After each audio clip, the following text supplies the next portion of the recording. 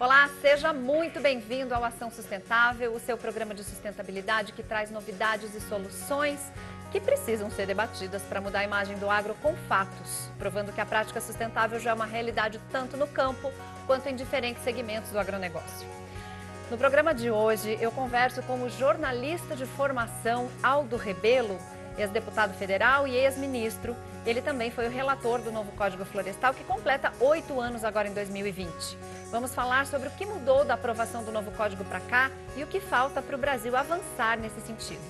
No quadro Ideia Sustentável, vamos ver que uma das maiores empresas de alimentos do mundo vai investir milhões de reais em ações contra a pandemia do coronavírus. O Ação Sustentável começa agora.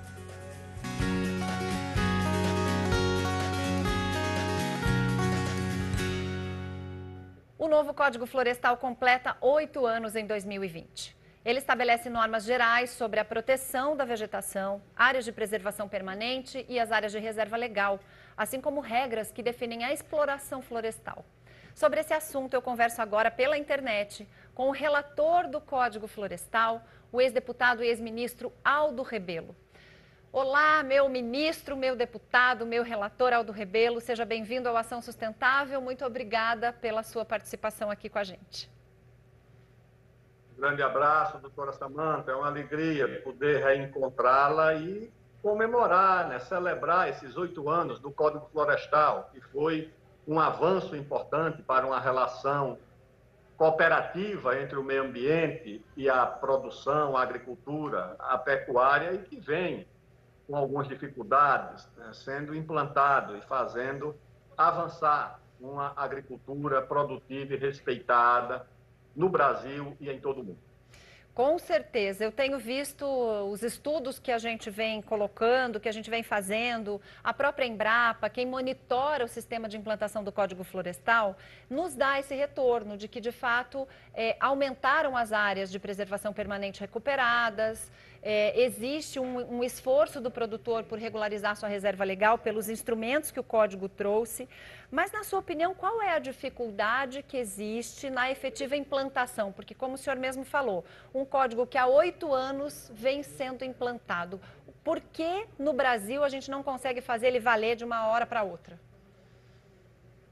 As dificuldades podem ser é, explicadas ou compreendidas por duas causas fundamentais, por duas razões predominantes. A primeira é a ignorância. Quando eu digo ignorância, é no sentido científico, não é do comportamento, mas no sentido do desconhecimento, da falta de informação, para que as pessoas compreendam que a agricultura e que a pecuária podem ser atividades não lesivas, mas pelo contrário, benéficas ao meio ambiente.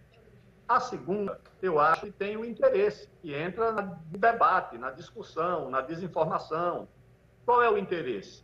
O interesse nosso correto, do europeu, do americano, que agricultor sabe que o sucesso da agricultura brasileira no mercado mundial, na competição, é o seu insucesso.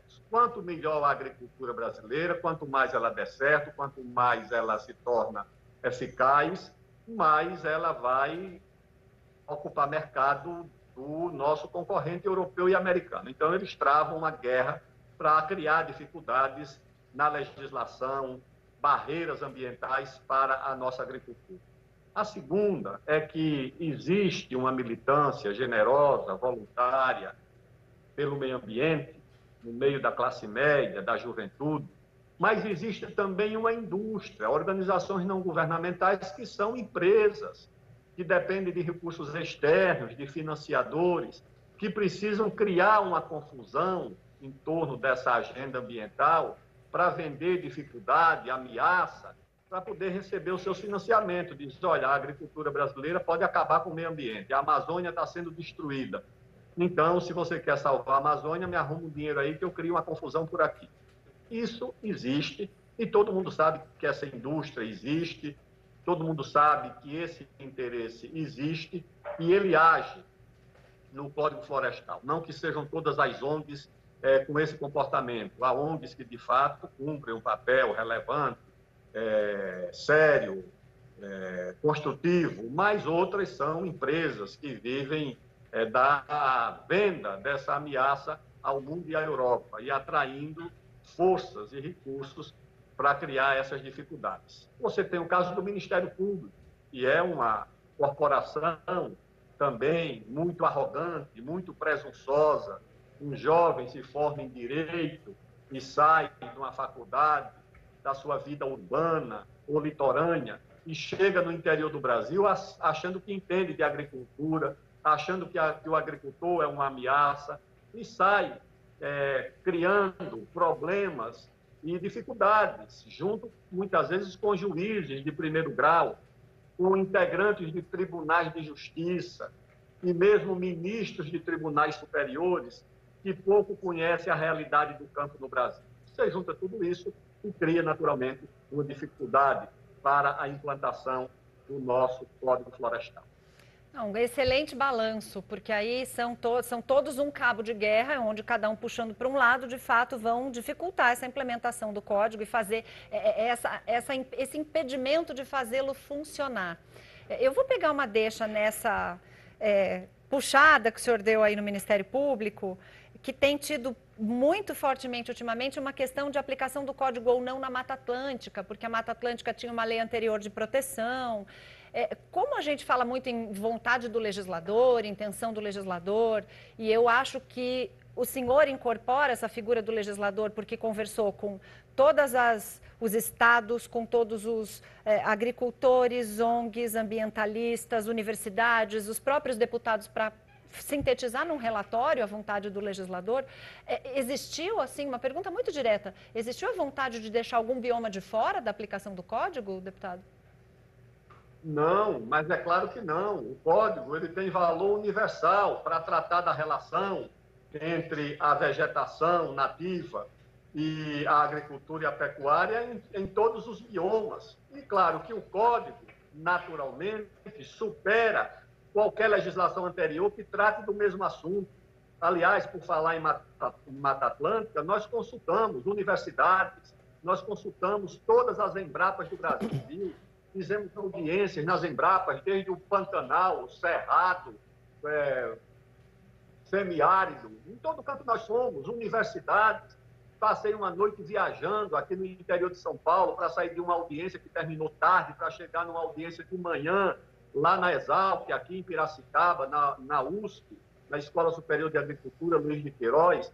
Nós fomos a Roraima, lá na fronteira com a Venezuela, na Serra do Tepequém, depois de uma audiência em Boa Vista. Fomos ao Rio Grande do Sul, fomos a Corumbá, no Pantanal Mato Grossense, fomos aqui no interior de Minas Gerais, de São Paulo. Ou seja, em todo canto, nós colhemos a opinião das universidades, dos órgãos de, de, de gestão ambiental, dos estados, dos municípios, do, do IBAMA, que é o órgão federal, das instituições é, de pesquisa, das ONGs, das, de todas essas organizações não governamentais, as regionais, as internacionais, nós ouvimos a opinião de todo mundo em mais de 200 audiências públicas.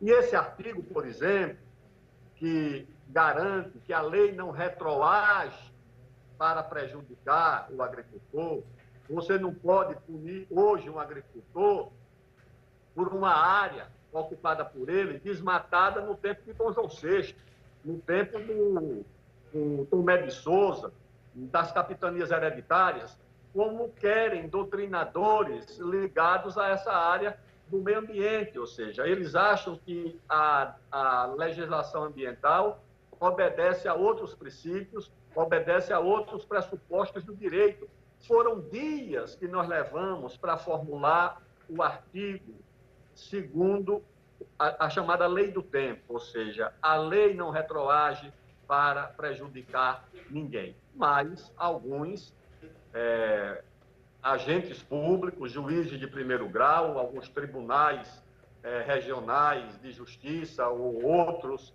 é, do Ministério Público querem fazer uma interpretação forçada, às vezes com base num documento que é inferior à lei, uma resolução de uma Secretaria da Agricultura, uma portaria do, do Ministério do Meio Ambiente. Eu acho que isso é completamente inaceitável.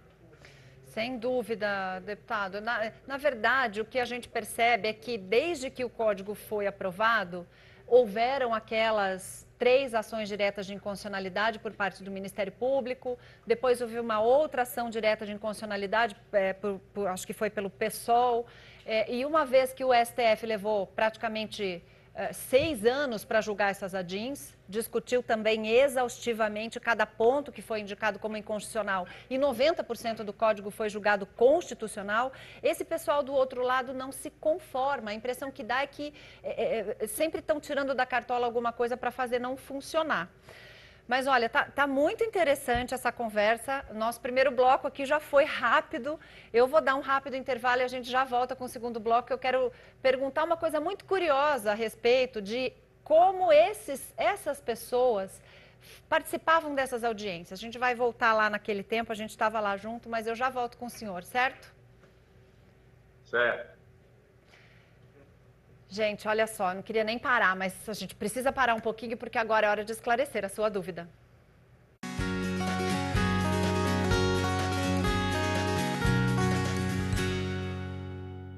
Muito bem, várias perguntas chegando aqui, você pode mandar a sua também, mas a de hoje, a pergunta de hoje é a seguinte. É verdade que agora as florestas, a concessão de florestas nativas para exploração sustentável não é mais uma competência do Ministério do Meio Ambiente, mas é uma competência do Ministério da Agricultura? A gente vai para um rápido intervalo, mas na volta a gente continua o bate-papo com o deputado Aldo Rebelo e eu respondo a sua dúvida também.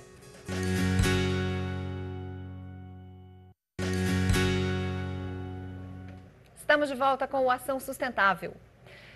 No primeiro bloco do programa, a gente deixou em aberto aqui a questão da competência para concessão de florestas públicas. Se é verdade que isso passou do Ministério do Meio Ambiente para o Ministério da Agricultura, e a resposta é sim, é verdade.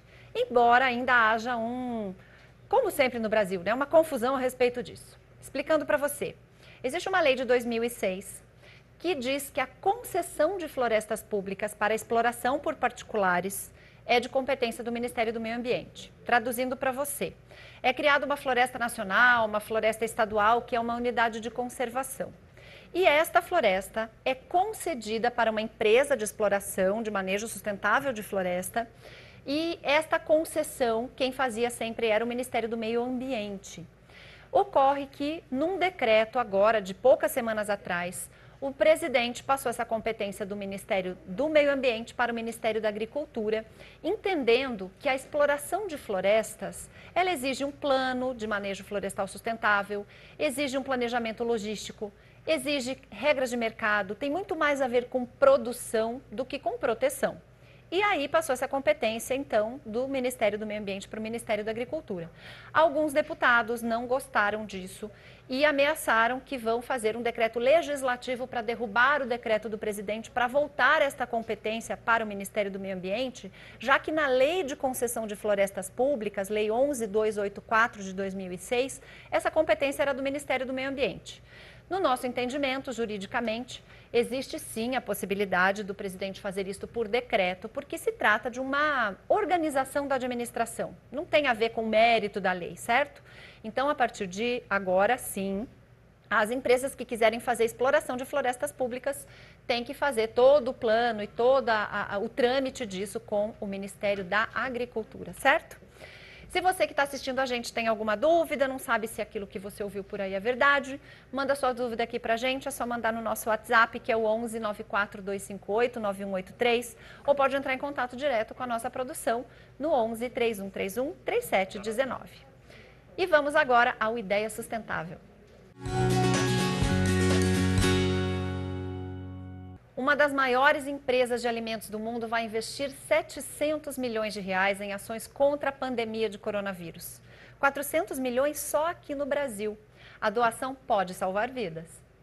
Você já deve ter ouvido essa frase: praticar a solidariedade é uma forma de amor que não tem preço.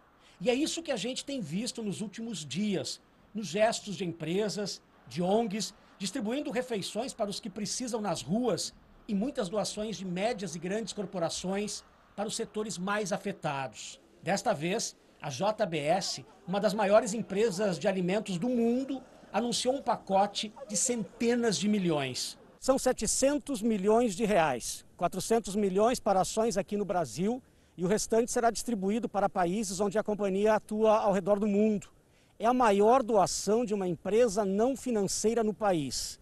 Todo esse valor vai ser destinado ao enfrentamento à pandemia do novo coronavírus e seus efeitos no Brasil afora. Serão beneficiadas quase 60 milhões de pessoas em 17 estados do país. Recursos voltados à saúde, assistência à população vulnerável e até a pesquisas científicas. A JBS tem um compromisso com o Brasil, um compromisso que começa é, há 65 anos com a fundação dessa empresa no interior do Brasil, é, pelo José Batista Sobrinho, meu avô. É, é com esse compromisso em mente que a gente está fazendo essa doação. Para que esse dinheiro seja aplicado da melhor forma possível, a JBS convidou um grupo de profissionais da saúde e representantes de universidades, de movimentos sociais, para avaliar critérios e definir quais os projetos devem receber a doação. Um dos representantes do comitê é o Dr. Fernando Torelli, do HCOR. Eu acho que essa é uma experiência exitosa, faz parte de uma rede de solidariedade da área privada no Brasil mas com muita preocupação do uso adequado para que a gente efetivamente possa contribuir é, para atender as, as pessoas que mais precisam nesse momento do pico da pandemia. Essa doação faz parte do programa Fazer o Bem, Faz Bem JBS, que ajuda nas ações voltadas à saúde pública, social e apoio à ciência. A gente, com essa doação, entende que vai conseguir apoiar muito a sociedade e o Brasil a enfrentar essa crise que o Covid nos está nos tá, nos tá desafiando, né? E a gente continua a entrevista com o ex-deputado, ex-ministro Aldo Rebelo, relator do Código Florestal. Bem, vamos falar agora um pouquinho a respeito de como naquela época essas pessoas, essas instituições que se insurgem aí contra o código, Ministério Público, teve ministro do STJ na época que participou, as próprias ONGs, eles também participavam dessas audiências lá na Câmara, não é, deputado Aldo? Muitas dessas audiências, promotores participavam, tinham acesso à palavra, as ONGs, elas integravam quase que a delegação de deputados quando você chegava em Manaus para uma audiência, estavam lá as ONGs presentes. Em quase todas elas tinham direito à palavra, se manifestavam. Agora elas tinham naturalmente um outro objetivo, uma outra intenção, que era a de, muitas vezes, sabotar, impedir que o debate acontecesse. E nós enfrentamos tudo isso com determinação, com convicção, não nos deixamos intimidar, enfrentamos esse debate e dissemos: olha, vocês querem participar do debate serão bem-vindos. Vocês querem ameaçar é, quem está legislando para o Brasil? Aí, isso aí nós não temos como conciliar, nós não temos é, como aceitar esse comportamento. Não, e foi essa postura que fez realmente a coisa caminhar e o, o relatório ser votado, ser apreciado. E, e, eu me lembro que na ocasião as discussões elas eram técnicas científicas do ponto de vista é, é, até da escrita. Eu me lembro que o seu relatório teve praticamente 600 páginas para a justificativa do próprio, de cada artigo. O, o, Código Florestal não tem 80 artigos, mas tem 600 páginas de um relatório amplamente é, ali fundamentado na ciência. O, o que o pessoal fala é que esse código ele ficou muito pró-agricultor. E eu costumo dizer que nenhum agricultor do planeta tem reserva legal como obrigação. Quando as APPs precisam ser preservadas em outro país, o agricultor recebe por isso, aqui no Brasil ele não recebe. É, to, todas essas obrigações ambientais fazem parte, inclusive, de regra de mercado. Na sua visão, o produtor rural ele ficou com muitas vantagens nesse novo código? Não, não. Quase que se submeteu o futuro da agricultura brasileira para você legalizar o passado, para você legalizar o passivo. Porque você exigir de um agricultor na Amazônia, são dois terços do nosso território, na Amazônia, de um agricultor, que ele destine 80% da área da sua propriedade para reserva legal, em que país do mundo isso existe? Na Suécia, na Noruega, no paraíso dos ambientalistas. Sabe qual é a reserva legal obrigatória? Zero. Zero. O proprietário não tem obrigação de dar nada. Dar nada. Ou seja, o Estado, se quiser reserva legal, ele faça um parque, ele faça uma reserva, uma floresta nacional. Aqui ele vai buscar do agricultor. São centenas de bilhões hipotecados nessas áreas de preservação permanente. Sabe qual é a área de preservação permanente? A mata ciliar da Alemanha, da Suécia? Não existe, é zero. Qualquer menino pode colocar nesse Google e seguir o rio da Alemanha e da Europa para ver onde é que ele vai achar uma mata ciliar. Vai achar mata ciliar de repolho, de uva, de couve-flor, de beterraba, de vegetação nativa, ele não vai achar. E tudo isso foi imposto ao agricultor brasileiro. Eu conversei com a ministra do Meio Ambiente da Suécia, que me perguntou: ah, e como é que estão os índios, a Amazônia, as queimadas? Eu dei uma explicação paciente como é que está a situação no Brasil. Aí eu disse, minha senhora, agora me diga uma coisa, qual é a reserva legal da Suécia? Ela não sabia nem o que era reserva legal. Chamou um assessor, e saiu para lá, deu um telefonema, voltou, e disse: não, isso é, uma, isso é uma figura jurídica que só existe no direito brasileiro. Na Suécia, isso não existe. E agora o seguinte: são essas ONGs europeias que vêm aqui dar lição ao Brasil, que tem 70% de, de 8 milhões e meio de quilômetros quadrados protegidos, que tem um estado do Amazonas com 1 milhão e 600 mil quilômetros quadrados, mais de 98% com vegetação nativa, um, um ponto, vírgula, alguma coisa por cento para agricultura, pecuária, cidades, infraestrutura. Que é isso? Não, isso nós não podemos aceitar. Nós temos a obrigação de proteger a, a natureza, as nossas florestas, mas nós não podemos aceitar que essas organizações. Doutora Samanta, um dia desse eu fui convidado para falar para um grupo um americano no meio que veio aqui que queria me ouvir sobre a Amazônia. Então estavam lá, jovens, gente, inclusive, com muita influência na sociedade, em São Paulo. Aí, naquele meio, eu digo: olha, quem aqui conhece a Amazônia? Ninguém conhecia. Meninas e meninos que conhecem 50 países, que moraram em Nova York, em Paris. Eles acham que pode determinar o que vai acontecer na Amazônia sem nunca ter ido lá. Já fizeram é, piquenique nas florestas do Nepal, caminhadas no Laos, no Camboja, em tudo quanto é lugar. Já moraram em Paris e Nova York, na Amazônia, no máximo passaram de avião, quando iam para Miami ou sei lá para onde. Por cima, a 10 mil metros de altura, 30 mil metros de altura. Então, essas pessoas querem mandar na Amazônia, querem dizer o que deve acontecer lá sem conhecer? Não. Eu acho que elas têm o direito de opinar, mas elas precisam primeiro conhecer alguma coisa da Amazônia e da agricultura brasileira antes de formar um juízo tão pessimista sobre o que acontece no campo no Brasil. E é esse o meu o meu lamento, deputado, quando eu vejo artistas, né, os quais eu admiro, inclusive pelo trabalho que desenvolvem na cultura brasileira, na música, eh, no, no, nas artes cênicas, mas opinam sobre a Amazônia sem nunca ter estado lá. E, e eu falo o seguinte: nós temos um problema de desmatamento ilegal na Amazônia? Sim, temos. Ninguém está negando. Aliás, esse mês de, de abril, mês de abril, nós tivemos 64% a mais de desmatamento na Amazônia. E aí a gente pergunta, mas esse pessoal que está querendo combater o desmatamento ilegal na Amazônia é a favor, por exemplo, da regularização fundiária daquelas áreas, para que se conheçam os proprietários, para que se deem títulos para aquele povo que está lá há mais de 30 anos e possa multiplicar a fiscalização, melhorar a entrada das pessoas na Amazônia? Não. Aí eles são contra a regularização fundiária da Amazônia. Então vai entender. Essa medida provisória procura a medida provisória que hoje é um projeto de lei procura proteger 80% de pequenos agricultores, microagricultores, de até um módulo. Quando você coloca dois módulos, você chega a quase 80% dos agricultores. Quando você chega a seis módulos, você chega a mais de 90%. E se você chegar a 15, você atinge quase todo mundo. O grileiro não quer a legalidade, o grileiro não quer a vistoria, o grileiro não quer o sensoriamento remoto, o grileiro quer viver na clandestinidade. São agricultores no Rio Grande do Sul, no Paraná, em Santa Catarina, recebi mensagens.